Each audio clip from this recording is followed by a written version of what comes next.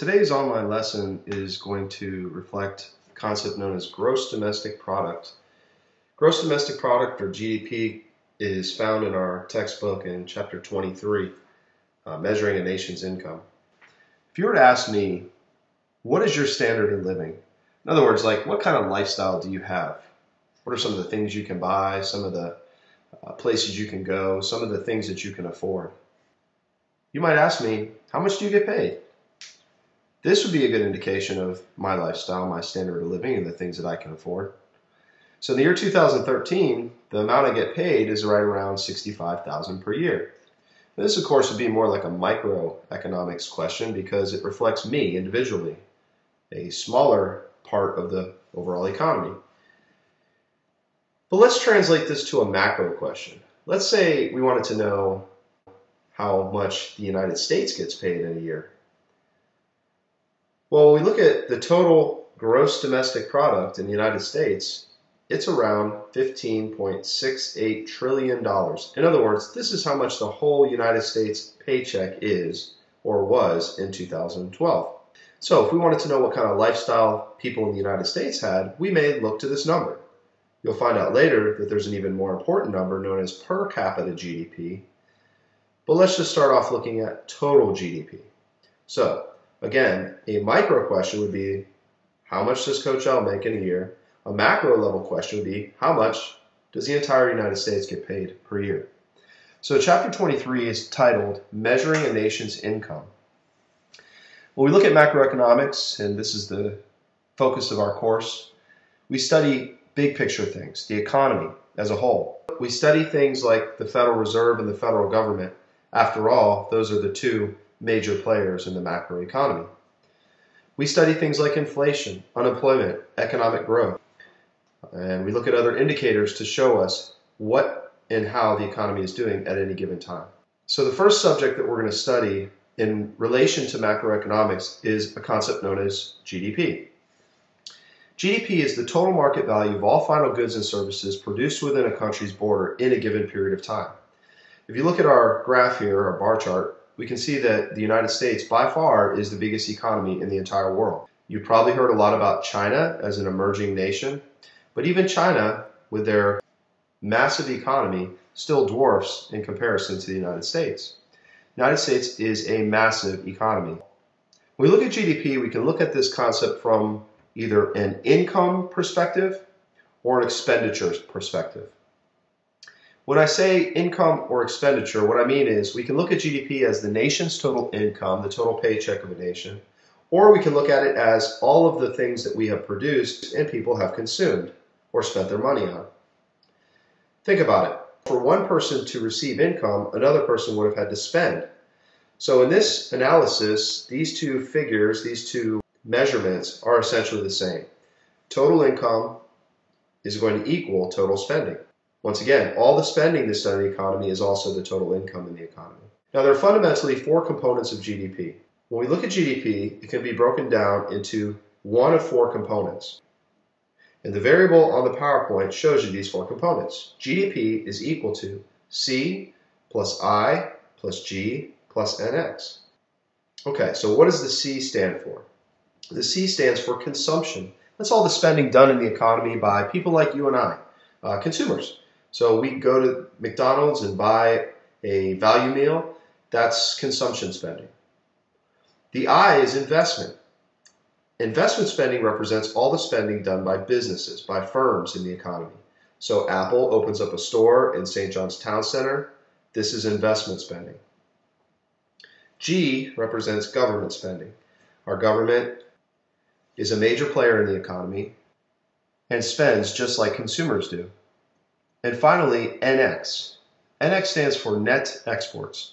Net exports represents the total amount of stuff that we sell to other countries minus the total amount of stuff that we buy from other countries, or exports minus imports. Now let's look a little more closely at each one of these variables. Consumption spending. Consumption spending, again, is all the spending done by households or consumers. When we look at our economy here in the United States, 70% of our total income earned, or GDP, total amount of things that are produced and then purchased, are based on us, consumers. That's a massive part of the economy. So sometimes people say, as the consumer goes, so does the economy. Investment spending, spending done by firms and businesses. This accounts for 15% of GDP. Government spending, government spending accounts for 20% of GDP. You might be looking at these numbers and saying, now wait a second, Coach L, this is 105%. How is that possible? It's possible because we as an economy actually buy more stuff from other countries than we sell to other countries, which means the total amount of exports, the gross revenue generated by the things we sell to other countries is less than the total amount of stuff that we buy from other countries, which makes this number currently negative. So net exports is a negative and takes away from GDP. Now let's look a little more closely at GDP. GDP's definition is the total market value of all final goods and services produced in a nation's borders in a given period of time. The first part of the definition, the total market value. Market dollar value, what does that mean? The market dollar value is essentially the price of stuff. We've already indicated this when we studied supply and demand that price is a, is a way for us to create a value system.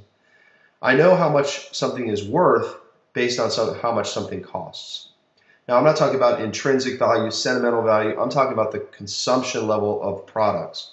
So if something is $2.99, $4.99, a penny, a dollar, $50,000, then I know what that value is in our economy.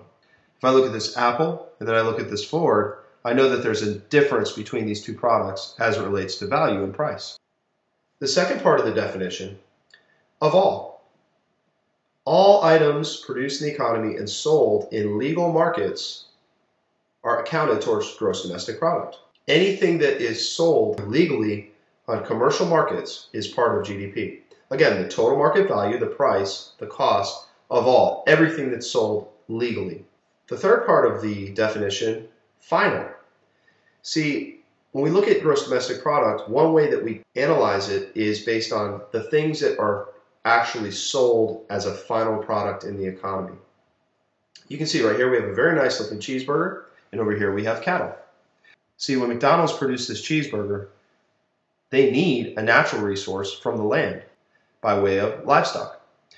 So we don't want to count the sale of this meat to McDonald's, then count it again when it's sold in this cheeseburger. That would be double counting and it would skew the numbers. It would look like we were generating way more sales than we actually were. So what we do is we just disregard the sale of this meat until it is sold in the final form of this burger. So the cheeseburger would be counted or included. That's the output. The input, the cow parts, as well as the tomatoes and the onions and pickle and all the other parts, are excluded.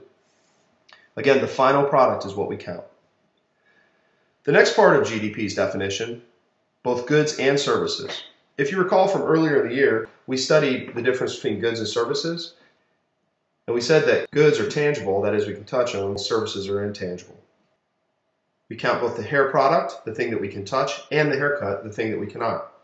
GDP also looks at things that are currently produced, that is, things that are brand new items. It disregards the sale of things that have already been sold at previous times. Now, let's say I have two cars on a car lot. I have a brand new Audi and I have a used Audi. Both of these cars are sold. Let's assume that this Audi was originally sold in 1984 and it's being sold as a used good. The only sale that would count towards this year's GDP is the 2013 Audi. So the old Audi, the used Audi, wouldn't count because it's already counted one time towards GDP, and of course that represents the GDP for that year. We don't want to add it again to this year, that would be double counting again, and would skew measurement. What would count for both of these products being sold is any commission made this year by a car dealer, meaning when they sell the old Audi and the new Audi, the dealer is going to get a little bit of cut, a little profit, the commission for the sale of this, and that would count towards GDP. Anyway, so fundamentally, a new car would count towards GDP, whereas a used car would not. GDP also only takes into account things that we sell here in the United States. It's gross or total domestic, domestic meaning within our borders. So it only measures the production of products that we sell here in the United States, not companies that are American companies overseas. For instance, if I want to go to Disney World, I can go down here to Orlando and go to Disney World. Or I can fly to Japan and go to Tokyo Disneyland. When I go to the Japanese version of Disney World, that stuff that I buy, the tickets, the drinks, the toys, whatever, are going to count towards Japan's GDP, not towards the United States GDP. It's employing Japanese workers, not American workers, and adding towards that nation's GDP.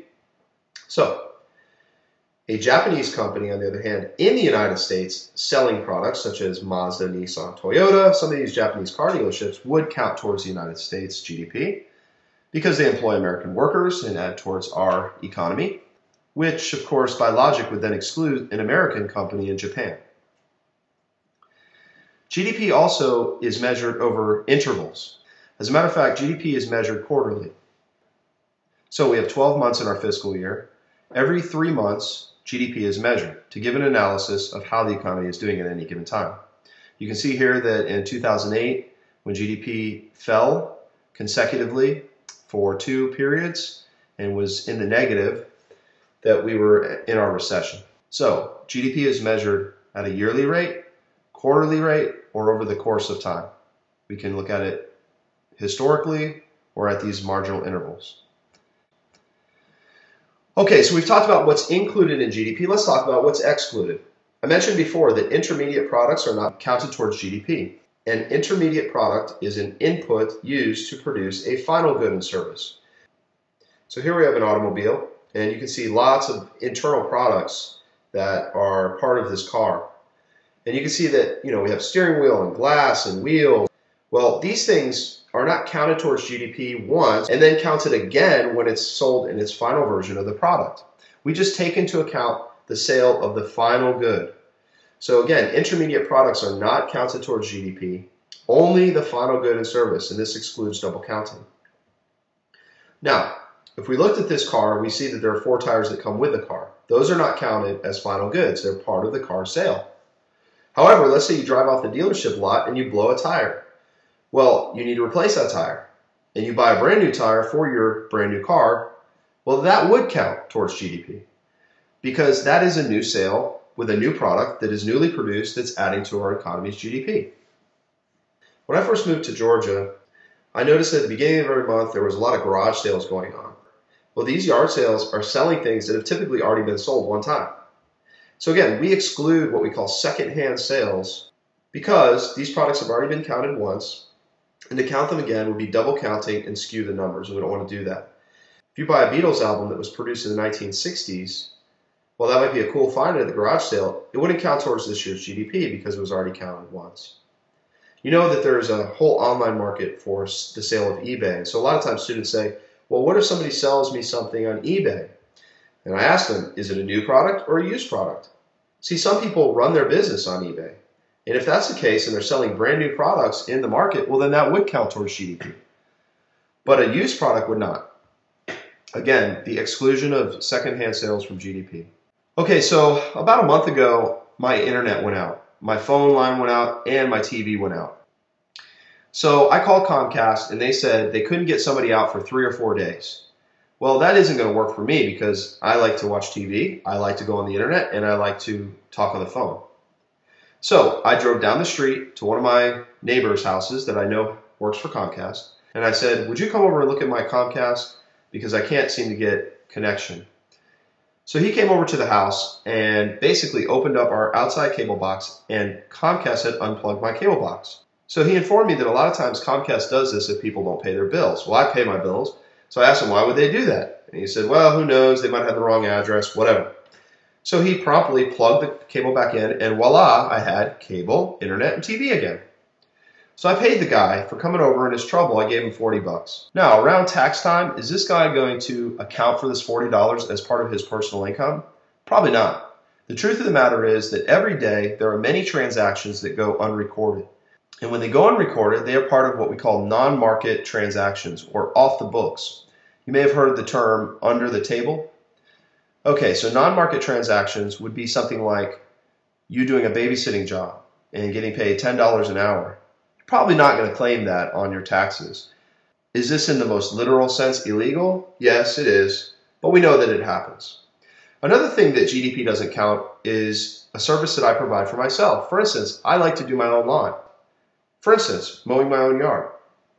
I personally like to mow my own yard. I like to do my own yard work. Gives me a chance to get outside, I get some exercise, I feel good about myself. Anyway, I'm not going to call the Internal Revenue Service and tell them that, hey, today I performed a service. I didn't charge myself, but I performed the service of mowing my yard, and I wanted to make sure that you accounted for this in the measurement of GDP. Not going to do that. Whether it's mowing my own lawn or changing a tire, these things are not counted towards GDP. They're excluded. Economists also don't like the black market. And the black market represents anything that is sold illegally, things like drugs or gambling where it's illegal. So economists don't take into account the black market, even though it does have a major impact on our economy. The final thing that doesn't count towards GDP is what we call transfer payments. Transfer payments are when we have a redistribution of money from one group to another. This is typically talked about when we look at entitlement programs such as welfare, unemployment, Social Security, or any type of transfer payment that would go from one party to the, to the next.